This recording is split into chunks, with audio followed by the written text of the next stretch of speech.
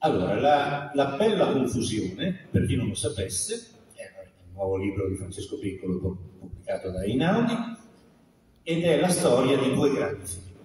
Eh, la storia di due grandi figli sono stati girati più o meno nello stesso periodo, anzi proprio nello stesso periodo, nel 1963, e si tratta di Il gatto pardo di Luchino Visconti e di Otto e mezzo di Federico Fellini.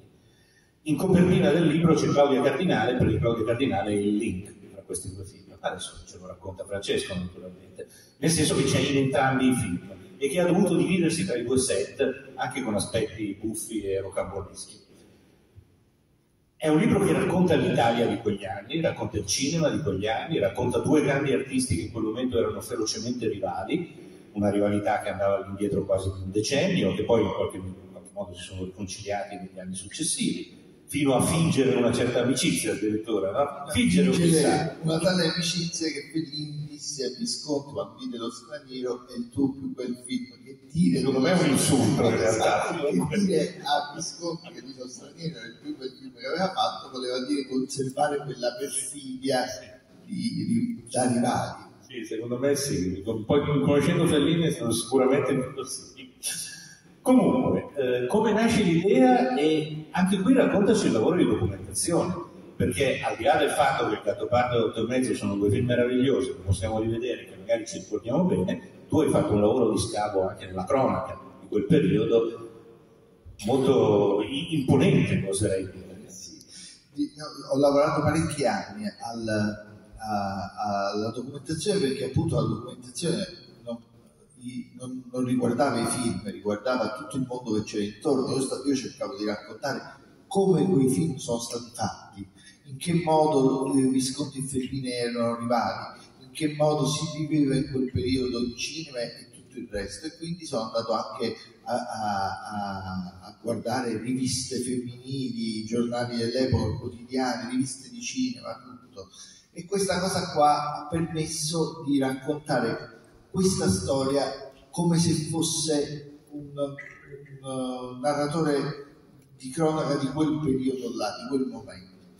Tutta questa storia è nata al Festival di Sanremo del 2014, io facevo l'autore del festival, eh, uno dei festival di Fazio, e invitammo Claudio Cardinale.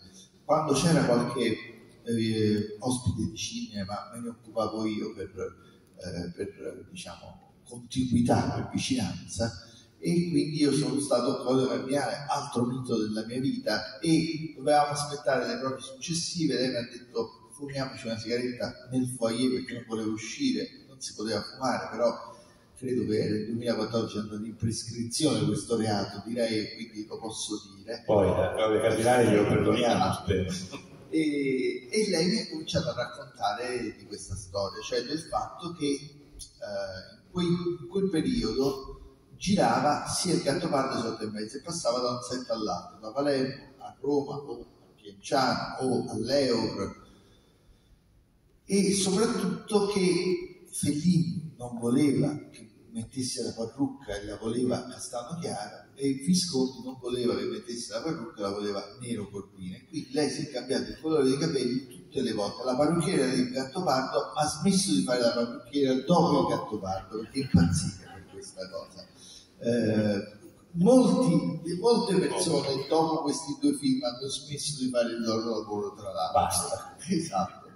E, allora, è ovvio che dire che 8 e mezzo e il gatto pardo sono tutti e due del 63 è una cosa che forse si sa, eh, uno se la ricorda un po', ma questa perfetta coincidenza da questi due film sono cominciati tutti e due a maggio sono finiti tutti e due a ottobre del 62 le riprese, il montaggio, usciti insieme eccetera mi ha fatto pensare che andava raccontata, partendo da Claudia Cardinale e poi però, insomma, ho quasi subito scoperto che Fellini e Biscotti non si parlavano da otto anni, più di otto anni, e perché era successo un episodio incredibile alla Mostra del Cinema di Venezia del 54 dove Senso e la strada erano tutti e due in concorso e Fellini e Biscotti hanno fatto gran parte dei loro film in concomitanza. Questo in maniera perfetta il gatto otto e mezzo, ma senso e la strada sono andati a Venezia insieme.